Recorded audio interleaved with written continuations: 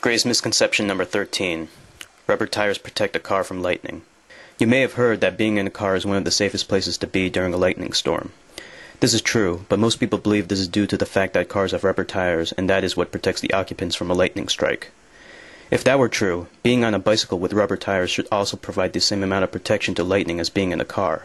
However, in reality, this is not true at all, and rubber tires provide absolutely no protection against lightning strikes.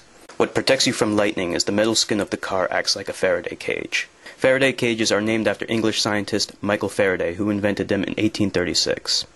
A Faraday cage is simply an enclosure made out of a conductive material like metal. When an external electric field comes into contact with a Faraday cage, the electrons inside the conductive material rearrange themselves, and the cage will become charged if the cage is ungrounded, or the excess charges will ground themselves, leaving the cage neutral if the cage is grounded. However, inside the cage there is no electric charge at all, so anyone inside is safe as long as they aren't in direct contact with the cage. This is also the reason why airplanes will never be made out of plastic, as plastic is a resistor, and if struck by lightning, the airplane would almost certainly be damaged or destroyed. So now you know better, and that was Enigma Hood's greatest misconceptions.